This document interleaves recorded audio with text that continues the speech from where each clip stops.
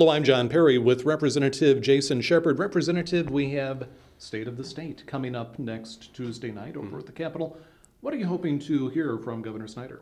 Well, first of all, I'm excited to hear what some of his plans are for 2016. I know that we have an exciting year coming up. One of the uh, big benchmarks is something that I've been really pushing is no-fault insurance reform.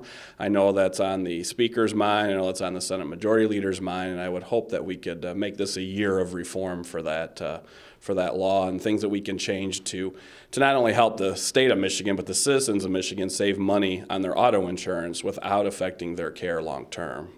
And looking back at 2015, what do you see as some of the chief accomplishments of last year?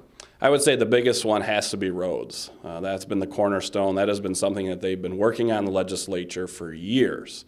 And now, this past year, we finally got a package done that I feel long term will provide a funding solution, will provide safety to our citizens, and will provide the infrastructure needed to help grow Michigan and the economy here as well. Jason Sheppard, thank you very much. Thank you.